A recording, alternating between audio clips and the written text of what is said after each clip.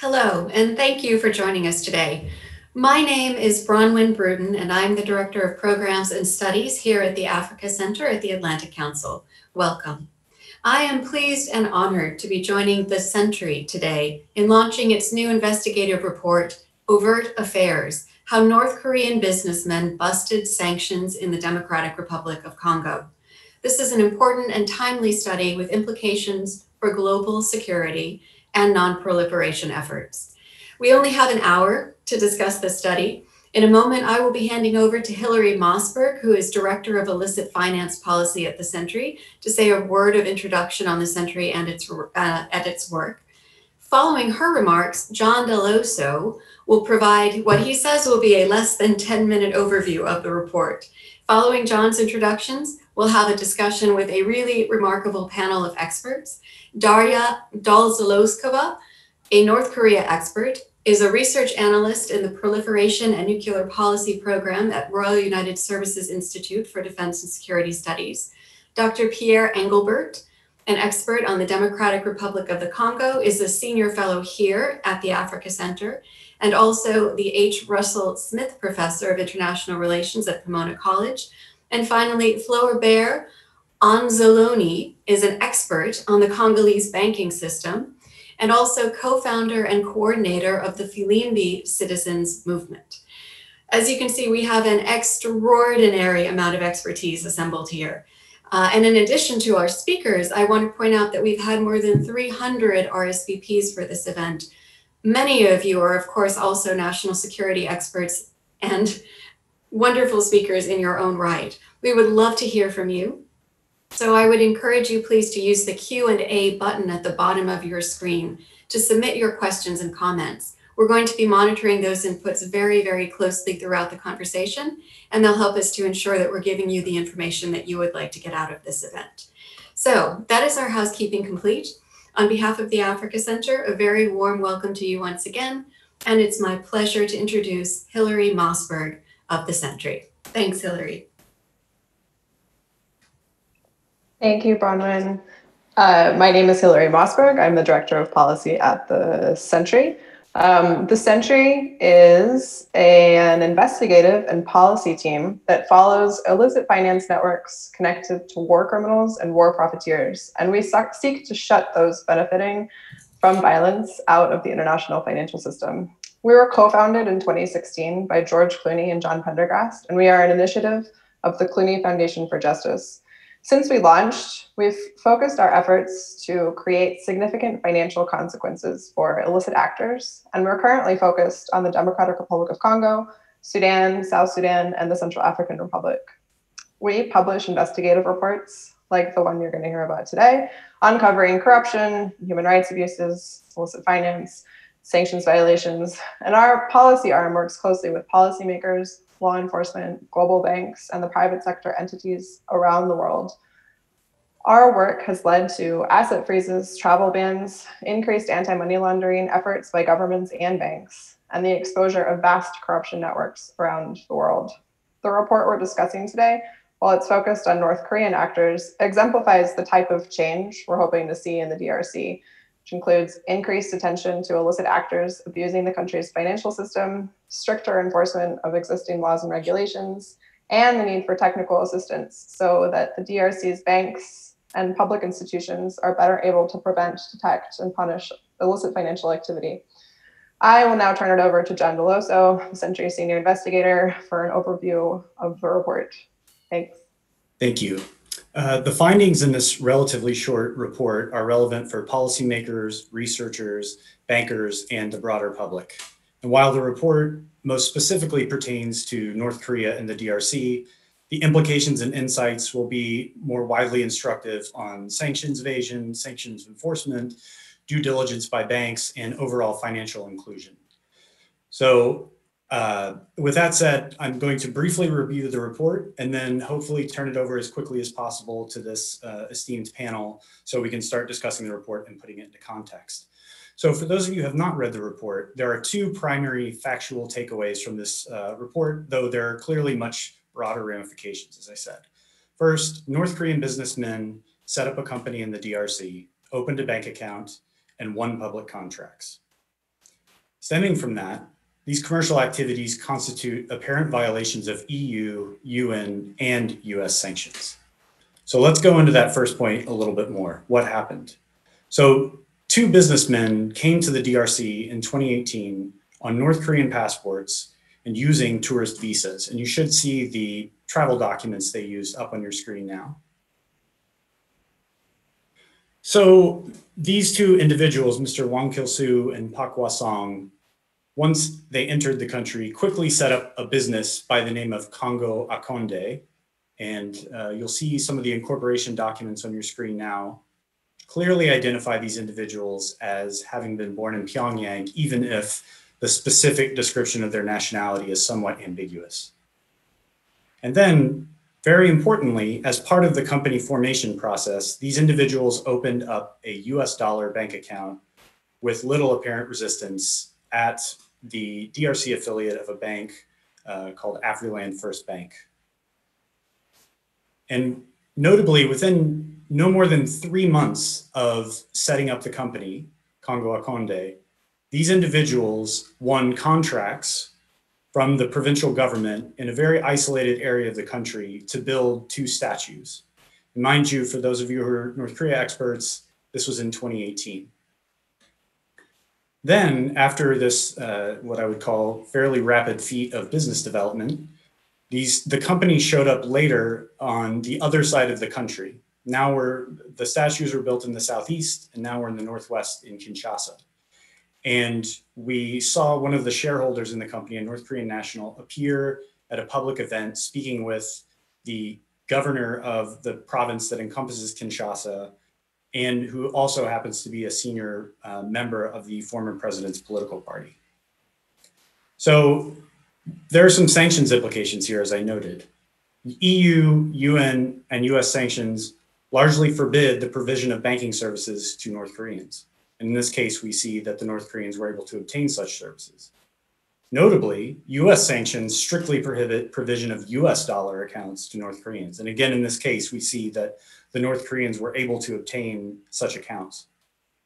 Finally, EU and UN sanctions expressly prohibit the procurement of North Korean origin statues, as well as prohibiting member state entities, UN member state entities, from procuring statues from North Koreans. So in this case, we have North Koreans building statues, which they are not uh, in, not allowed to do according to current EU and UN sanctions regimes.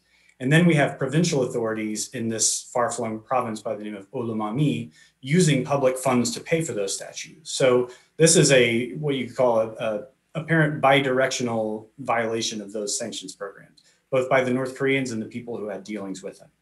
So I want to end on why this matters because some of you have expertise in North Korea and not the DRC and vice versa.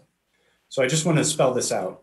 Sanctions on North Korea aim to disrupt, uh, in large part, overseas revenue generating activities and access to banking services, which is precisely what we see happen here. Um, these individuals engaged in both of those activities and obtained access to those services. And that is, these sanctions exist because they're targeting revenue gen- generated overseas because that may that revenue may support the primary target of sanctions on North Korea, and that would be their weapons programs. And beyond specifically the threats uh, touching on North Korea, there are also there are systemic vulnerabilities in the DRC within public institutions and private institutions such as banks that really gave rise to this uh, scenario that we're discussing today. And far from just being damaging to the reputations of those institutions or revealing of certain institutional frailties, this puts the entire Congolese economy in danger. As you'll hear on this panel, the economy of the Democratic Republic of Congo is heavily dollarized. And as a result, banks in the DRC rely on international banks to process transactions in foreign currencies, uh, but with particular importance on the US dollar.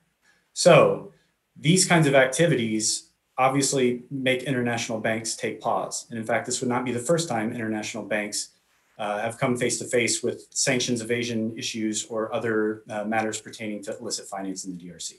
So, this seemingly peripheral and arcane history we've written about with small, not particularly uh, appealing statues in a far flung province is actually quite important from the perspective of international peace and security, as Bronwyn said, and also the economic well-being of the Congolese public, which should be a major preoccupation of ours in this matter. So with that, I would like to turn it over to um, uh, Hillary, I believe. All right, I'm going to jump in. Uh, again, my name is Bronwyn Bruton, the Director of Programs and Studies at the Africa Center. I have the honor of moderating this panel. Thank you so much for those remarks, John. You were true to your word. You gave it to us in a nutshell. Um, I'm going to turn to Daria Dolzikova first. Um, Daria, I am not an expert in proliferation financing, so I have to tell you, um, I'm a little confused about why we have so many people assembled here um, expressing concern about these statues in the Congo. Um, can you explain to a non-expert like me how we know for sure that these aren't sort of two guys from a difficult country just trying to make a living somewhere? Sure. Yeah, no, that's a great question. Um, the most simple answer to that is we don't really know that there aren't, but the chances are very, very slim that they are.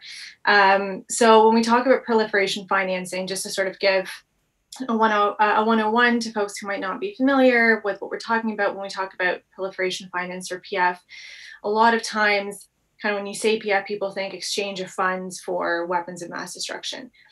And that's part of it. That is a very, very small part of what PF actually looks like. A large part of PF um, that we see actually looks at these kind of revenue generating activities by proliferators or the establishment and use of these kind of financial and corporate networks that were highlighted, some of them in this case study, to move the funds that are generated uh, back to these proliferating countries and potentially to contribute to their WMD programs. Now, how we draw that link from North Korea's WMD program to the construction of these two statues that's sort of where the challenge lies and that's a that's a challenge that a lot of people looking at proliferation financing at north korean sanctions evasion actually face um, because a lot of times we can't make that connection. Um, in some instances north korean construction activity in africa that has been linked to particular companies um, so i'm thinking of malaysia korea partners um, for instance or mop um, mansudae um, the mansudae group there have been links made directly to the North Korean government. So whenever we see links to those companies, it's a pretty safe bet that you know they're operating on behest of the North Korean government. In instances like this one, where there's not as clear of a connection to one of these entities, it does become a little bit trickier to make that connection.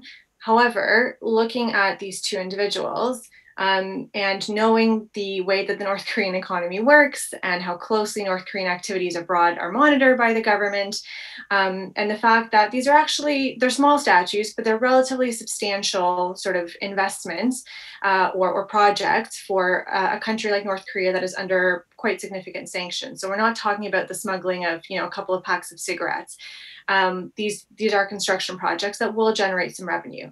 Um, so the chances of these two guys just kind of going off on their own, um, I would say, are very slim. Great, thank you for that, Daria. Appreciate it. Um, John, let me jump to you for just half a second. Do you have any sense of the dollar amounts involved in this transaction? Uh, I would say we don't. Um, that was obviously something we tried to establish through our investigation, but in the end, uh, we were not able to establish that. Um, if I could jump back to one quick point uh, to reinforce what Daria said.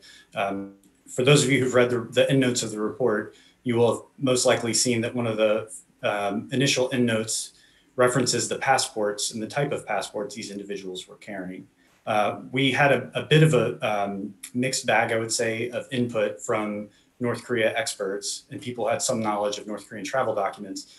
But there's reason to suspect that a PO passport, which is the type these two individuals were carrying, is in fact an official passport, which the UN uh, panel of experts in the DPRK indicates are given to professional athletes going overseas and state-owned company employees who have been sent on, a, sent on an official mission abroad. Thank you. Great. Thank you, John. That's that is also a helpful clarification. I appreciate that. Um, Pierre Englebert, so you know DRC inside and out. You've traveled through the country for years and years and years and years. You've actually seen these statues, unbeknownst uh, to you, um, that they were they were North Korean um, financing efforts. What is your take on this situation? I mean, what's your reaction to the fact that these were apparently um, connected to the North Korean regime. And do you think that this is an example of, of Congolese corruption, or are we more likely looking at a situation of incompetence on the Congolese side? Thank you, Bronwyn. Uh, yeah, th- those are good questions. Let me clarify. I was in 2018 in Kamina for, for my own research. I had nothing to do with this. And I did see at the time uh, the first statue. Uh, uh, this, this, the statue, the report doesn't fully clarify it, but the first statue is a statue of the founder of the Luba Empire. It's uh, Ilunga Mbidi Kiluwe. And so he's the, you know, mythical person, a, a hunter who's at the origin of the, the Luba. Luba is the largest ethnic group in Congo, although they're only 8% of the country. They're the largest single ethnic group, and they're a complete majority in that province. Now they had that they had that statue there, and we saw it.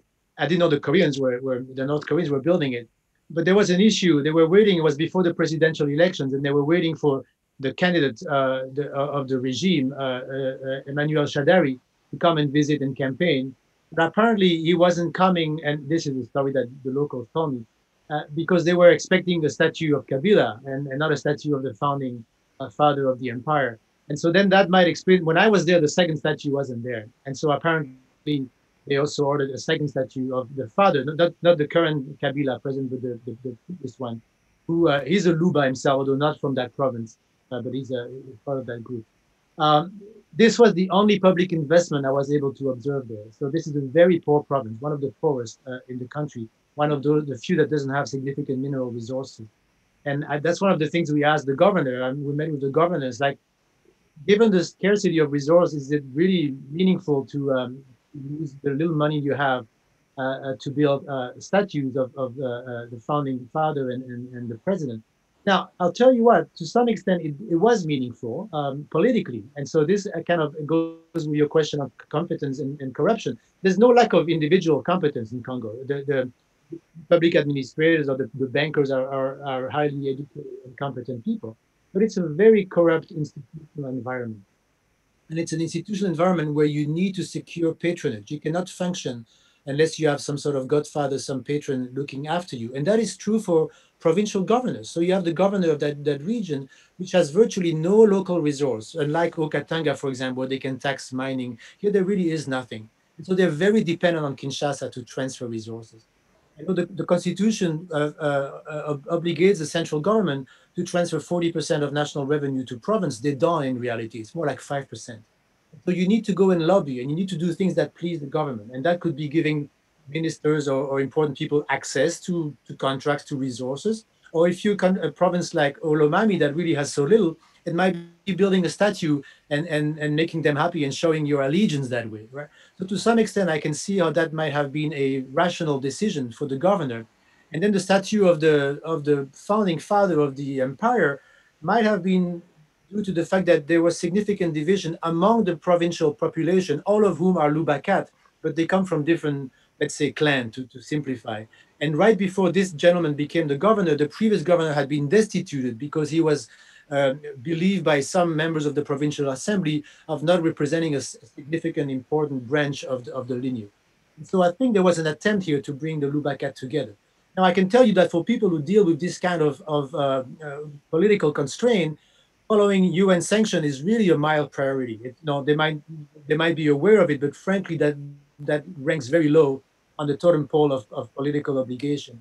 And political survival and, and financial survival come first in Congo for them. Yeah, I imagine they must be very surprised indeed, uh, the people of Kamina, to know that we're all here talking about those statues today. um, so let me pick up on one point that you made, Pierre, um, and take that back to John. Pierre mentioned that this is something that was likely to need involvement by Kinshasa. And you mentioned in your report that some of these businessmen actually had been seen with associates of, of then President Kabila. Is that correct? That is correct. The three uh, senior political figures and the elected officials in the country uh, with whom the North Koreans had some level of interaction or, or the, the politicians who were apparently aware of the projects that they were undertaking. Um, all three of them fall under the, the grouping, uh, the electoral bloc that is um, headed by former President Joseph Kabila, the FCC, or Common Front for Congo. And then two of those individuals are quite senior in Kabila's uh, political party itself, which is the PPRD. So while uh, Emmanuel Shadary, the, the political candidate that uh, Pierre mentioned, we don't have any evidence that, he came uh, in direct contact with these North Koreans, you know, shook their hands, knew that the, the this specific company was building the statues. But as we know in the report, he did say that he visited this uh, site of these statues because it constituted a promise of the head of state to the people of the region. So we took that to be at the minimum an indicator that this was a project of some import. Then later, uh, we identified the fact that one of the North Korean officials, or pardon me, North Korean um, uh, shareholders came in direct contact with the governor of Kinshasa province by the name uh, Jean Ngobila and was having a conversation with him was apparently pitching a some sort of uh, public park project with a fairly large price tag from what we've been able to determine, though not conclusively. Um, so the, the question for me becomes, how do these individuals who've just recently entered in the country establish business in, in such short order, and then on top of that, establish business in these far-flung places in the case of Kamina, but projects that gain the attention of people who are at the, the highest rungs of authority in the country. Excellent. Thank you very much, John. Um, uh, Floribert Anzuluni, let me turn to you because you you're an expert in the Congolese banking system. You've been employed by the major um, banking conglomerates uh, in Africa, so you you are a senior official yourself. Tell me what uh, what went wrong here. What what what is the state of the Congolese banking system, if you could characterize it broadly, and then specifically, what failed? in order for this to happen? Is this a big mistake? Is this an easy mistake? Try to give us some sense of, of how, how big of an oops this was. Yes, uh, thank you very much. Um, first of all, I would like to say that as a former banker and a civil society activist, I'm clearly not surprised by the, the content of the, of the report.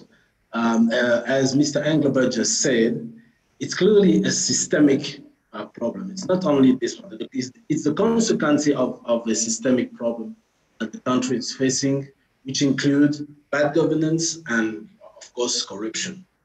So, um, as briefly indicated by John, uh, I think, yeah, uh, Congolese environment is quite particular because the value of our currency is, is too, too low uh, uh, and that is it's weak and most of transactions are currently carried out in US dollar. This is the first thing. Uh, therefore, we are really very de uh, depending on the international financial networks. Secondly, in addition, most of products and goods are imported. So that's why this situation is very important for us uh, as civil society members, and we are supporting uh, the conclusion of this. I'd like to, to we will push for, for the recommendations to be implemented. But unfortunately, the way the DRC banking sector is working as of today is to some extent dangerous for DRC and, and especially for global financial system. Let me explain, let me give you an example. Uh, one of the best, the, the, the, the most, the, the, the issue is the central bank himself. The existing banking control system is really weak but also corrupt and, uh, and the general, uh, uh by the general political uh, system. So the compliance system is not appropriate. As an example, the cash withdrawals and deposit limits uh, are officially 10,000 US dollar. This is a, a, way to, to control uh, the way the, the, cash is, uh, is moving. But when you see what is happening banks, uh, and, and officially, uh, banks need to get a special authorization to exceed this, uh, this requirement. But what you are seeing from today, all banks are not respected, clearly not respected this very requirement. And unfortunately, even the central bank itself is breaking the rules by making large cash disbursements, as it was the case. I don't know if you follow what happened with the the head of cabinet of the president, which is actually uh, at the court. But one of the problem, one of the issue uh, that has been raised is the fact that the central banks give, withdraw millions of dollar in cash and, and give them to, uh, uh, uh, to, to the, the, last beneficiaries. So in resume, in, in central, the central bank management himself is really politicized and is one of it's one of the the, the, the issue that we are facing. So I, I, I will give you other examples, but let's let's talk and I will give some some other points and issues. That's thank you so much. That's really important. Um, let, well, let me ask you. I mean, one of the things that we sort of started talking a little bit about uh, in in one of our pre-conversations on this event was we were trying to figure out who is responsible for okaying an account like this. I mean, as, as an average citizen, I have to say, I don't encounter North Korean individuals very often. If one of them came up to me and said, Hey, I'd like to do some business with you, I would probably know myself that's not a good idea. So, what, is there a person in the Congolese banking system who's supposed to put a stamp on a document to say, Yes, you can open an account? Yeah, of course. The, the, the governor of the central bank is the one who is responsible of the of this of this situation. But at the same time, let, let me explain another very important point. We, uh, as country, we have a very big issue in the identifications of, of, of people. Um, let's say it's today difficult uh, and even not, not I can even say uh, not, I can even say impossible for a bank to be able to truly identify a customer. I don't want to justify what, what happened, but this is one of the issues that we have we are probably one of the only uh, country the, around the world uh, that, that uh, currently doesn't have any national ID. We don't have any national ID since 20, more than 20, uh, 20 years. So banks are used some other documents uh, generally unreliable, unreliable and for which the possibility of verifying the originality is almost uh, not possible. So you, they can use voter card, certificate of loss, uh, driver license, but all those documents uh, uh, are available on the, let's say, the parallel uh, market to the to the to a, a very ridiculous uh, fees. So this is a very fundamental uh, issue that is actually making the requirement of KYC, know your customer, extremely difficult. And, of course, this is also impacting the creation and, and identification of local businesses because if you cannot identify, identify persons, so how could you be able to identify uh, uh, uh, the business that are run by, by, by person? So the, the DRC is also one of the, let's say, the, the few countries where, where, where, a non-resident can open and hold an account without a, a rigorous uh, control. So the, the central bank is the one responsible of Thank you. Let, let me ask Pierre to jump in on this. Thank you. I'd like to add a few things to really complement what Floribert is saying. Um, you know, in Congo, you have on paper, you have all the checks and balances, and you have the transparency requirements, and you have institutions. So, for example, there's a national cell for financial intelligence. There's an anti-corruption uh, agency. There's all these things the government sets them up, often under pressure from donors, and then uh, uh, applies itself to essentially neutralize them, either by not by not funding them or by finding ways to bypass them. Right? And so that's really how, how Congo functions. You have a formal institutional setup, but you have a very strong shadow uh, mode of governance, uh, which is not always visible so for example, you would have a bank and there would be, imagine that, I don't know the specifics, but imagine the, the branch of Afriland in Lubumbashi where these two gentlemen established their account. The way it would work typically in Congo is that, you know, you have the agency, the branch there, there's a bunch of people waiting for normal business and then a big man would come in, somebody with influence. And that person would immediately go to the back room and meet with the, the branch manager. And and then they would they would work things out they would hug each other they would be all sorts of you know casual conversation and then he would say listen i need you to do me a favor and and there's these two people here we need to open an account. It's not up to the manager to really fight this. This person will have significant connection. It could be the end of the manager's career. And so you will work with this. And this is really the kind of environment. Again i don't know the specific but to me it seems very plausible that one would not be at liberty to really enforce regulations in this kind of high pressure political environment. Thanks very much pierre. I mean i I think one of the major questions that we should really try to get to during this conversation is the extent the the question of culpability, because obviously, you know, this is two North Korean businessmen, but the kind of activities that we're talking about, as as you pointed out in your remarks, John, could have a tremendous impact on the willingness of banks to do business in the Congo, on the ability of the Congolese people to exercise you know, their their economic freedoms and rights. Um, and so I, I want to be really clear. Um, you know that that we have to sort of get to the bottom of how this could have happened and and have recommendations that are, are both actionable for policymakers but fair to the Congolese people as well. Um, Pierre, are you aware of any um, any outrage in Congo over this this incident? Is it is it even in Kinshasa? Is it even sort of causing a ripple thus far? I'm I'm not aware of anything. I was not aware of it until I read the report.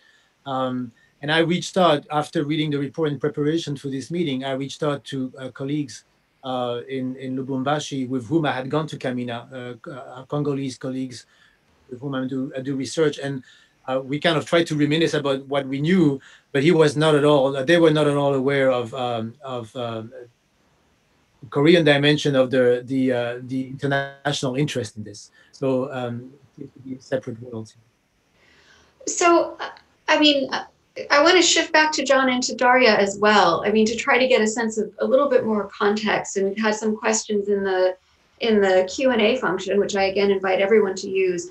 Sort of talking about past North Korean activities in the DRC. Um, if Daria or John, if you could jump in, um, I know the report mentions uh, it alludes to a couple of incidents involving weapons and police in DRC. And then Daria, if you could let us know, I mean, on the scale of one to ten in terms of, of things that you've seen and would be concerned about. If you maybe give us a number about where this ranks, I would appreciate that too. Yeah, so I think your final point actually touches on um, a couple of really interesting things that sort of link to the larger conversation that we were having about why should. And there were a couple of questions in the Q and A that I meant that I saw um, about you know why should the DRC care about this? Why should we care about this? Aren't there more important cases? Um, how large is this really? And I mean, that's something that's really tricky when it comes to looking at this from a proliferation financing perspective. So that's kind of the angle that I'm coming at it um, with is, you know, how important is this really to North Korea's weapons of mass destruction program? Again, just coming at it from a proliferation perspective. And that's really, really hard to gauge just because, again, we don't know how much money was made off of this. We don't know where that money is going to go, how much of it is actually going to go into the weapons of mass destruction um, program but something that's really important to actually try to tackle is specifically that question is why should we care? So it's the question of what are the consequences of these kinds of sanctions evasion activities? Because you know as a couple of people pointed out i think in, in the q&a um, there are so many well in, in, in this discussion there are so many other challenges um, that the DRC and that a lot of other countries in the region are facing. So, you know, why should sanctions evasion, proliferation financing, and North Korean statue building really be a concern? And I think answering that question and addressing it effectively and meaningfully is actually a really important exercise, although a challenging one. And I think a few folks have touched on this already, but you know, looking at what impact does this have on the willingness of other countries and other banks to do business with the DRC? What reputational impacts does this have on the DRC economy as a whole? Those are consequences, right? What does this have? What impact does this have on safety, security, um, within the country. So we need to look at consequences for proliferation financing, but also for sanctions evasion in the North Korean um, sort of context more broadly, from from that perspective that the consequences are kind of a lot larger than just contributing to the weapons of mass destruction program. Um, and then the other point that i wanted to make is that um, this story we hear a lot of times in a lot of different countries. Um, you know the fact that the regulation is there on paper uh, but it's not very effective. And that's why you know when the financial action task force um, looks at countries and their effectiveness um, and their ability to implement UN sanctions. They look at okay, is the regulation there, but also is it being implemented effectively? Um, so it's sort of it's it's a double-sided coin. You need to look at the regulation, the letter of the law, but also the political will, whether it's there or not. Um, and the fact that the political will is not there to implement sanctions, or the regulation, or the capability in government or the private sector is not there to implement sanctions actually indicates a much larger problem that, again, a lot of people have touched upon.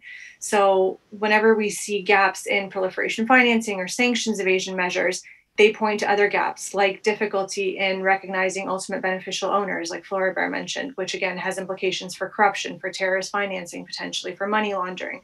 So you really need to look at this small case, seemingly a relatively small case of these two smaller statues, you need to look at it in this larger, more holistic context. What does this actually mean for the health of the DRC economy, for their ability to counter other forms of financial crime?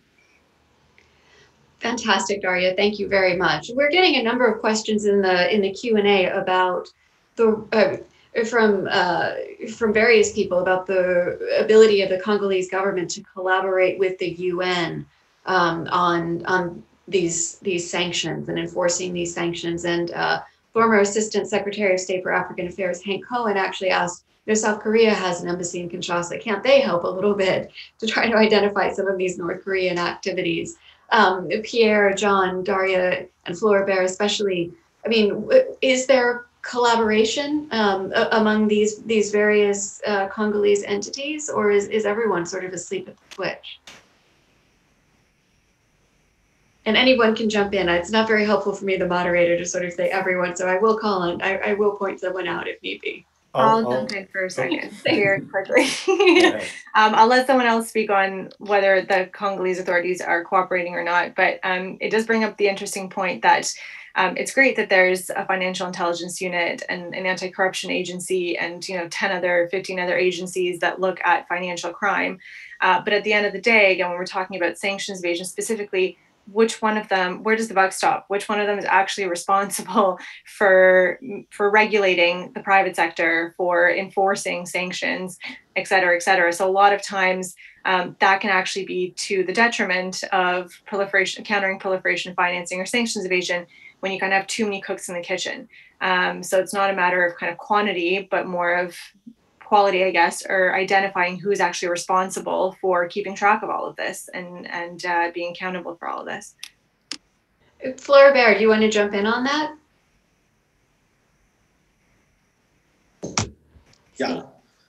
Yes, uh, I'm not sure because the, let me say that the, the, the Congolese authorities are part of the problem.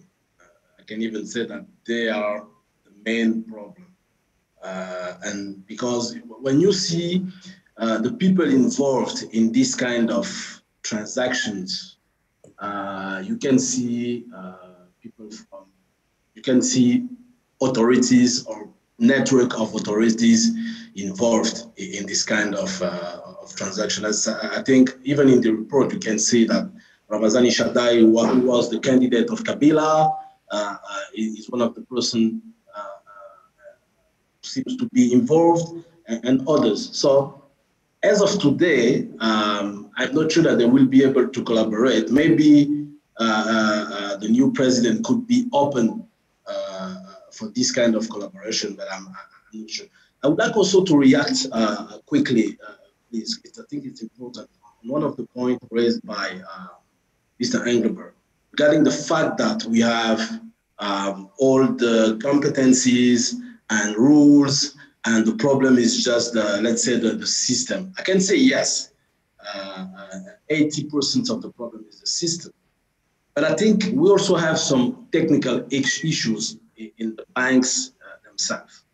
Um, when you say, you see in most of banks in the DRC, anti-money laundering systems and monitoring of the accounts, uh, let's say of, for example, political figures are clearly not, uh, not existent. This is an issue.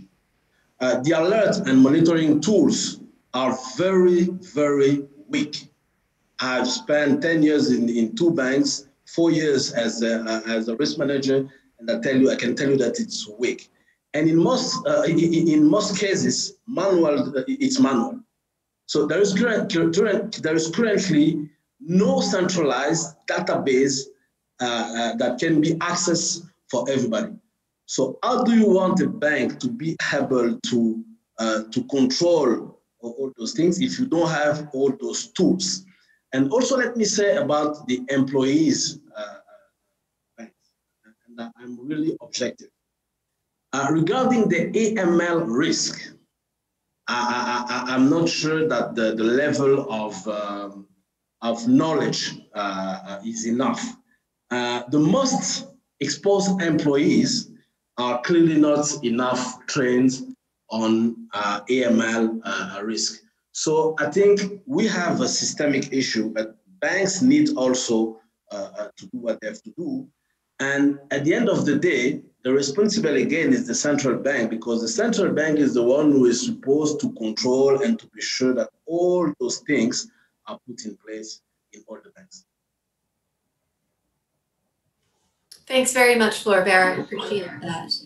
Um, so we, um, uh, probably not surprisingly, have a question from an eagle-eyed observer in the audience who not coincidentally is a member of the UN panel of experts on the DPRK, who uh, looked at the passports of the two North Korean um, businessmen who allegedly um, are implicated in this and noticed that they were both uh, issued, both passports issued in July of 2014.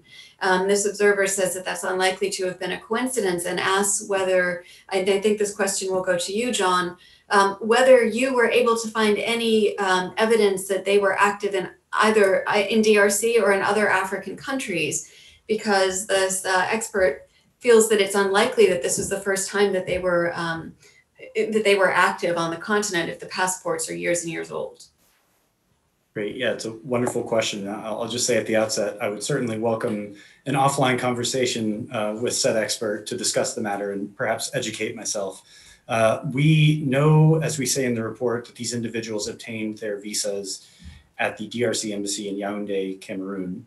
Um, curiously, there are similarly similar visa requirements for DPRK citizens in Cameroon as in DRC. So I think that would serve to reinforce the experts' observation that, that perhaps we're looking at people who have been in the region, um, at least to some degree. Um, we don't really have a clear sense of what they might have been doing. Um, but without making any promises, of course, I would say that that's something we remain keenly interested in. And um, we would certainly uh, hope to, to find such information at some point. Thanks, John. I, I hope that uh, I hope that the expert who sent in that question will please put their email uh, in the Q and A function, and we'll make sure to connect you uh, with the Sentry for that um, very interesting conversation that I wish I could hear.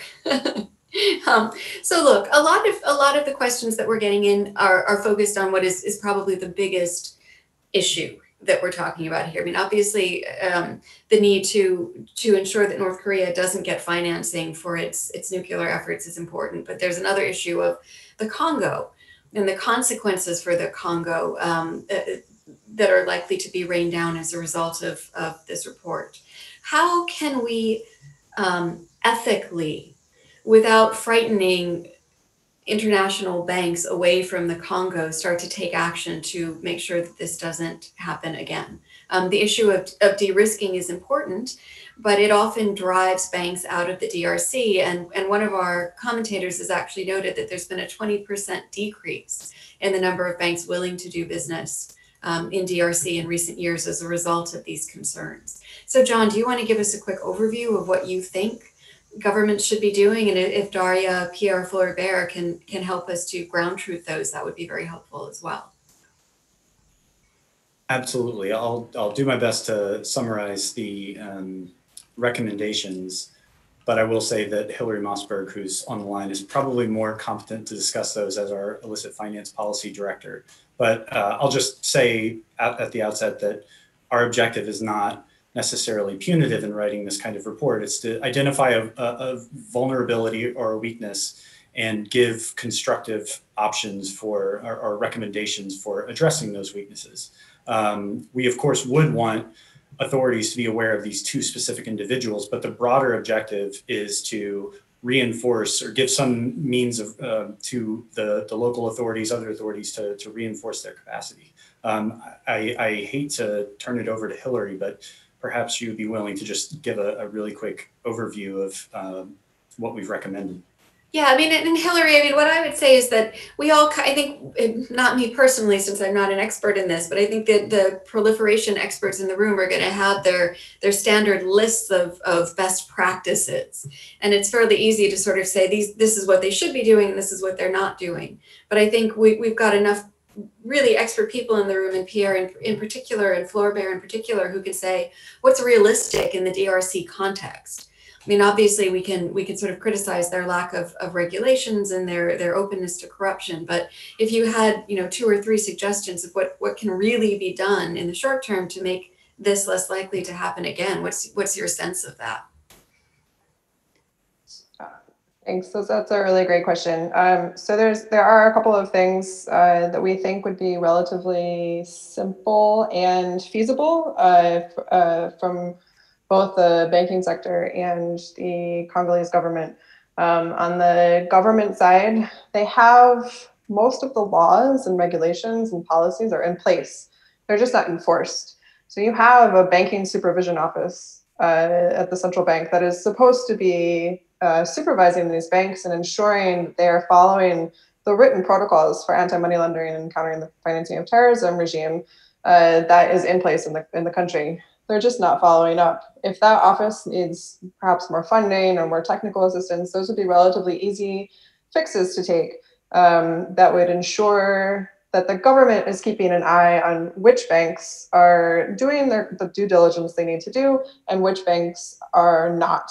On the banking side, um, there is a, you know, the Congolese Banking Association is a very active group um, and they are we think they're, you know, so, so Afriland First Bank is not a is, is actually headquartered in Cameroon. Uh, it's not a Congo. It's a branch um, uh, that's that's in Congo. Um, but any bank operating in Congo needs to uh, beef up their AML CFT uh, regime and needs to know what risks are out there um, each bank needs to take its own risk assessment, you know, taking a look at which clients they have, what they're comfortable, what, what type of risk they're com comfortable taking on, and using that risk assessment, um, uh, set up their own internal controls to make sure that situations like this don't don't happen in the future. Um, with the with North Korea, it's it's it's a training. So you know, they every banking employee at Afriland uh, needs to go through training um, on UN sanctions in particular. Um, and I, that's a relatively easy, that's a relatively easy fix and feasible. Uh, and I think with, with those two things, both on the government side and the private sector side, working together, um, you could see some pretty marked improvement um, very quickly. Thanks very much for that. Floribert, Pierre, do you want to respond? I mean, Pierre, you've mentioned, for example, that there's not there's not a huge amount of attention to the sanctions issue. Do you recommend punitive measures for specific individuals? I mean, what, what can be done to make this sort of be taken more seriously? Yeah, thank you. That's a, it's a great question. I was going to say the many Congolese elites are under sanctions themselves. And so you can say punitive sanction, but you know, join the club. So you know, the, we have this interesting uh, arrangement in Congo where there's a there's a formal president who was never elected, but you know, is is is there through some uh, again a shadowy deal, and then you have uh, Kabila who, re, who retains significant power, uh, control the, the the National Assembly, control many institutions, control many governors, and and and people around Kabila. There's a lot of them politicians and the top military brass are under US and, and EU sanctions. So there might be a degree of, of solidarity among among sanctionees there, saying, you know, hey, sanction busting is is is, uh, is a way of living, right? So uh, so I'll say that. Uh, I just want to say that bank fraud is a is a huge thing in Congo. There a few years ago there was a report by a Congolese. Um, I can't remember his name, uh, but he had been working in a bank and he, he was able to document a lot of uh, transaction on behalf of the Kabila regime that were fraudulent. And he released a report about that. And so this has been out there. You know, this is a different story, but this kind of practice uh, uh, has been documented by, uh, including by Congolese um, uh, members of the banking sector. Um, but let me add one one final point, which is an anecdotal one, but will, which will illustrate the kind of issues you have in the banking sector. In 2016, the governor of Haut-Katanga, a province next to, not too far from Haut-Lomami, but much richer province with a lot of banking, a lot of mining uh, activity, the governor Jean-Claude Kazembe was collected tax from a from a, a mining company and it turned out there was $23 million. And then he placed it in a private account of his.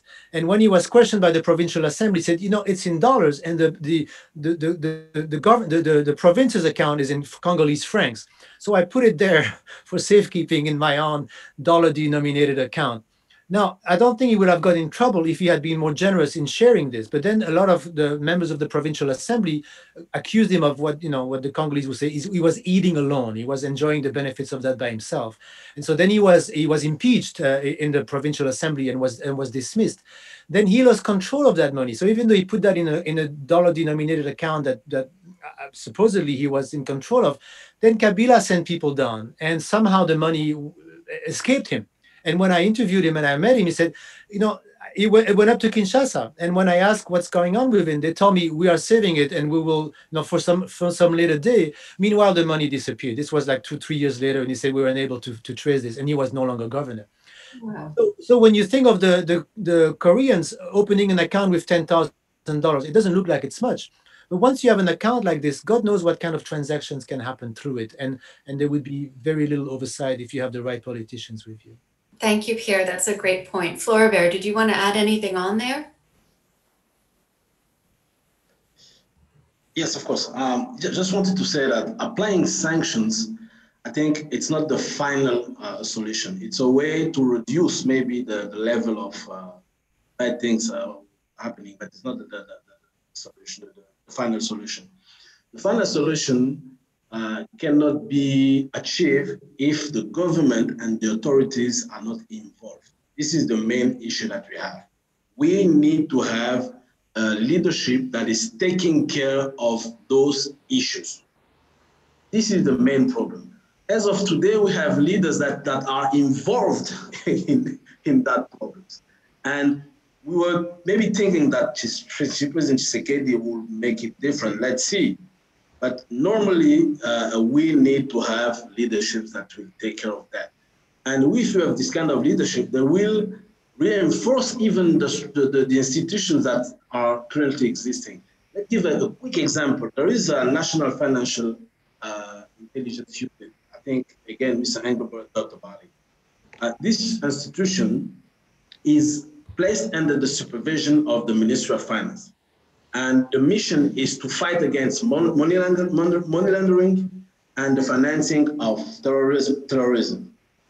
But it's really, the, the, the real power of, of, this institution is limited uh, only because uh, uh, uh, uh it's not enough autonomous.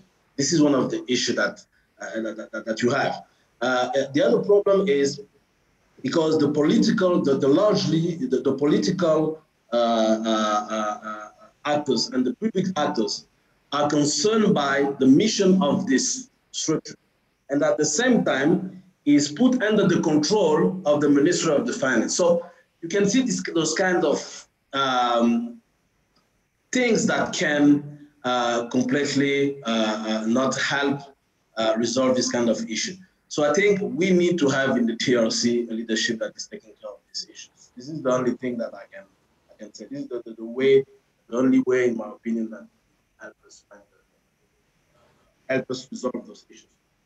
Thank you, Floribert. Much appreciated. So Daria, let me let me ask you. I mean, you you follow North Korea. You sort of know the the mo uh, of actors like these two North Korean businessmen. So I, would like your thoughts about what um, next steps should be. And, and in particular, uh, in light of the fact that this may have been some kind of a probing exercise, uh, the first of, of many efforts um, by these two individuals to try to start moving money. So, what, what would you do next? Yeah, um, so a couple of things. Um, I mean, whether or not it's a probing exercise, um, hard to say, as somebody had pointed out. There have been activities in DRC by North Korea previously. Um, so they have already probed, um, but you know potentially Um, you know, there there's plenty of other opportunities to make money in the DRC. Um, you know, North Korea might continue to take advantage of those. Um, but a lot of these challenges that we've talked about in the DRC when it comes to sanctions evasion and countering proliferation financing, as I've said before, are issues that we've come across in a lot of other jurisdictions. And um, and it is a combination of you know sometimes lack of political will, corruption, but also lack of regulation, kind of on paper. Um, so kind of caveating with the fact that I'm not familiar with DRC financial regulation and what it looks like. I think, you know, I'm a little bit biased towards countering proliferation finance specifically and focusing on that, but I think it is important to differentiate sanctions evasion in the PF context from terrorist financing and money laundering because, you know, and making sure that there are regulations in place to implement proliferation financing specific sanctions. Um, because when we look at something like the construction of statues, um, that is not an illegal activity, um, unlike you know money laundering, which usually has a predicate crime attached to it, um, or terrorist financing. So unless you know that that activity is being carried out by North Korea um, or by another sanctioned individual, you might not know that this is an illegal activity. Uh, so making sure that proliferation financing specific provisions are in place and regulations are in place that cover those activities that might otherwise be legal the operation of restaurants, for instance, by North Korea is also prohibited. So making sure that all of that is integrated into regulation outside of just AML and um, terrorist financing provisions, um, that is really, really critical. Um, one point that was brought up by Floribert, which I picked up on already, is uh, making available ultimate beneficial ownership information, UBO information. Um, banks need that to know who is behind these accounts. Again, if they just see someone constructing or paying for statue construction, that might not send off red flags. In this case, we had North Korean passports, but you know, in a lot of cases, they'll use front companies or intermediaries. So being able to actually identify who's behind those front companies that are building these otherwise apparently legal or engaging these otherwise apparently legal activities is really, really important. And again, that goes back to Floribert's point on the importance of government involvement. At the end of the day, um, you know, the private sector can can try as hard as it will, but if this information is not made available, if they don't know what to do with it, if they don't know that they need to freeze funds, for instance, and not just close accounts and give those funds back, um, like we see sometimes, then you know, then sort of a, a moot point if the government isn't there to kind of to, to raise that awareness. And then one final point, um, something that again we've seen in other jurisdictions, but this distinction between North Korea and South Korea and the lack thereof sometimes. Um, so you'll notice that on these documents and on the accounts, I think it was, or the corporate documentation. Um, you know, if you don't know where Pyongyang is and you just see Korea, you don't know if it's south or north, so there's confusion. So that is actually a really simple thing that governments can do is to ensure that on any kind of corporate documentation, you differentiate or trade documentation, you differentiate between North and South Korea. It sounds simple, but this falls through the cracks all the time, again, as we saw in this documentation. Um, so just kind of a simple thing, some pretty low hanging fruit um, that, that can be sort of attacked. Excellent. Thanks so much. So we're, we're closing in on, on last comments, I think. I mean, I, I have a question. I don't know if I'm allowed to ask it. Um, John will probably tell me I'm not.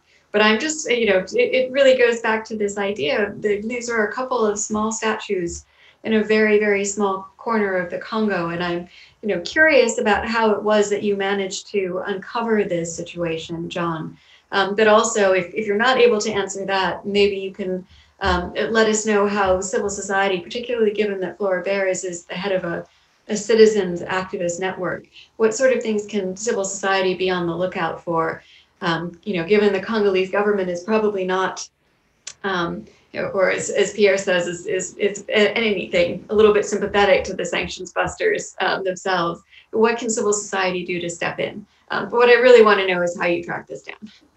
Uh, great. I'll try not to be too mysterious. Um, and I'll say I'll, I'll, answer the first question to the degree I can, and then I'll um, pass on the question about civil society to, to Floribert as a, as a leader in um, that movement. So the best way I can put it is uh, that we became aware of a company with um, some connection to North Korea. And then we have the benefit of having an expert on North Korean uh, overseas revenue generation activity in our um, in our organization, my uh, colleague J.R. Mailey. And I did not immediately recognize the importance of the fact that there was a company with a connection in North Korea. So my first thought was, hey, this is interesting and it looks like perhaps a sanctions violation, but you know, is this something I should really spend time on? And if not for his intervention, I think I probably would have gone the the very passive route. And of course, we wouldn't be here today talking about it, which I'm I'm certain there are some people in the audience who would prefer that, um, and certainly some people in the DRC who would prefer that, and maybe even North Korea. So you know the the special sauce of investigation that's that's a whole different conversation. But you know what we do is when we find out that the presence of activities, uh, illicit activities that have some bearing on um, you know the integrity of the international financial system, we go about trying to document it. Uh, and in this case, I'll say that we have looked at front companies in the past. We've looked at companies that are um, you know shell companies, et cetera. This one was a little bit different because these this was a you know a, a, pretty fleet unit of people it would seem. They were moving around the country. They didn't really leave the, the expected traces we would normally look for. Um, so a lot of what we did was trying to eke out you know information and, and understanding of who they were and what they were doing in the margins. And you know the level of detail in this report is fascinating to me as a, as a person who looks primarily at Africa and illicit finance and not North Korea, that the reception from North Korea watchers, if I can include you in that group, Daria, uh, was actually quite positive. Uh, whereas my experience looking at grand corruption in Africa, my thought was this: this is you know, there's so many things here we would love to answer, but but you know, you have to make the decision at some point to, to publish and expose an activity that has again some sort of bearing on international peace and security and and could have ramifications for the um, economy. So I think I'll leave it there and perhaps pass it to Floribert. Thanks, Floribert, please.